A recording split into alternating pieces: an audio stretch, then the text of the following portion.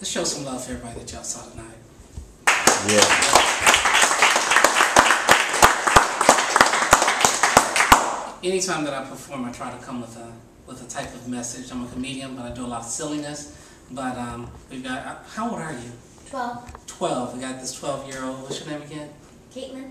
We got 12 year old Caitlin, then we've got 16 year old Brandon there. I mean, um, I don't know about y'all, but while the schools are complaining about all these budgets and all that, they need to reinvest back in the arts because this is the way kids should be spending their creative minds instead of the Xboxes and the Wii's and all that other garbage that's out there. MTV, Snooki, who?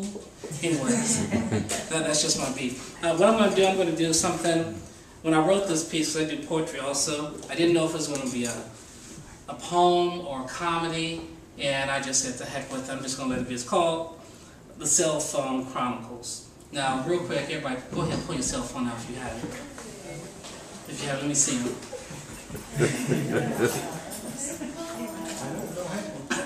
Little background about me. I'm, I'm a divorced man, and uh, I'm also one of those cocky type of single guys. And some, I see a lot of y'all live with your wives, so maybe y'all can't relate, but I know you can. I just know you don't want to sleep on the couch. But, you know, I understand, I understand. But how this started is like, you know, I would get numbers, I would collect numbers, and then I would call a girl, and then it's like, as I ended the phone call, I would say, I'll talk to you later. Now, fellas, help me out on that. What does later mean to us? It could be tomorrow. It could be next week. Could be never. It may never, Never be. be. We may never. And you poor girls, y'all sitting there like, what the heck? Am I right, ladies? Well, I found this one girl that we connected and the conversation was flowing. And anybody ever had that phone conversation that started like at 8 o'clock at night and ended about 2 o'clock in the morning? and you're so excited. I know you haven't been there yet already. don't scare me. Please don't scare me. But it's like, and and then you're like the next morning, even though you had to be up at five o'clock in the morning, you're floating. You know what I'm talking about when you met your your wife here? You just floated. The world was perfect as long as you could hear her voice. Well, this is how this chronicle starts. I met this young lady. We would talk to all hours of the night, and it's like we didn't talk about nothing. Sometimes the TV would be on her place, TV at my place, and it'd be like something like this: "What you doing? Nothing. What you doing? Well, maybe I'll call you back. Why? Okay, and so you still hold there, but yet you're floating on top of the world. And this would go on day after day after day, till this one day when I called her, I couldn't reach her. And I got up the next morning, and they got this stupid text messaging, which I hate. But I thought I would use the text message, and I sent something that in my mind seemed gay. I said, just want to let you know I'm thinking of you. No reply.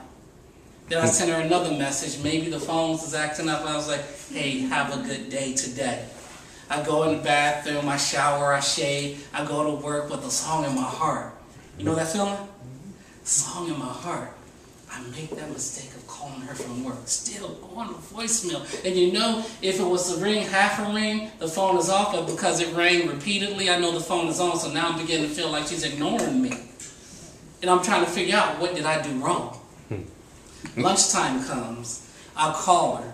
Now Beyonce is in my head because I leave her this stupid message. I was like, oh, so it's like that? Well, you must not know about me. Hmm. Y'all know that song?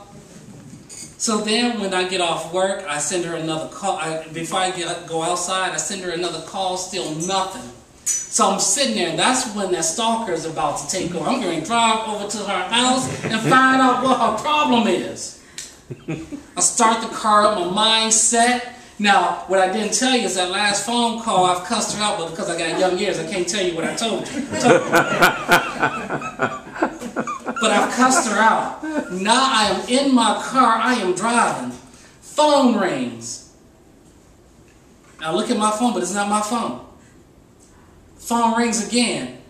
I look over in the seat, I move a jacket, and there's her phone. in a hot sweat and a panic, I pick it up and I see it's got a lock on it. I'm trying to unlock it to figure out if I can call and figure out her voicemail.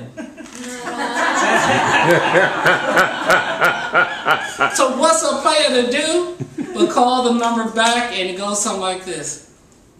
Baby. You know that message I sent you earlier? Girl, you know I was just playing, right? Unfortunately, to my demise, we never talked again. Hmm. And the moral to my story, the more this is supposed to bring us together, the more it separates us. So there's a cell phone problem. Thank you, Mike.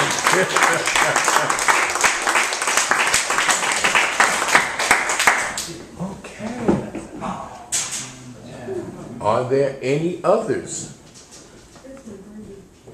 Anybody have anything they want to say? Eileen? I, I think you should lead us in another song. Why are you jumping like, back like on me? Singing. Mike? I want to do one other thing real okay. quick.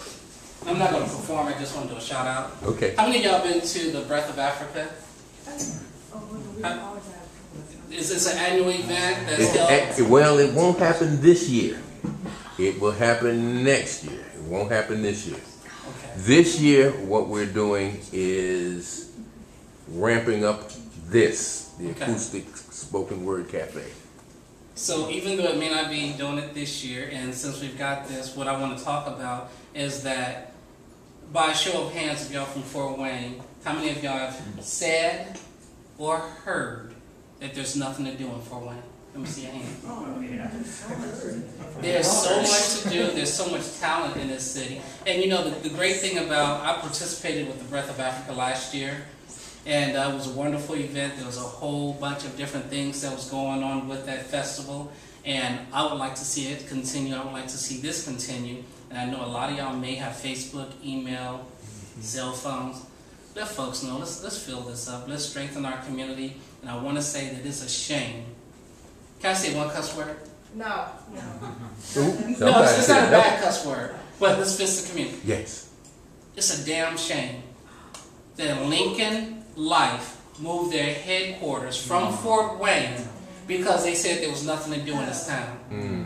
It's a shame that Navistar has just left to go to Illinois. It's a shame that we have all these institutions of higher learning to get these kids to come to Fort Wayne to get educated, to get those degrees, and leave because they don't think there's anything for us. Mm-hmm. When you point a finger, always remember this there's three pointing back at you.